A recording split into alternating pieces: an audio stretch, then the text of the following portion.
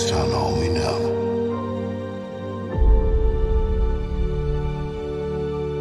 A thousand generations live in you now.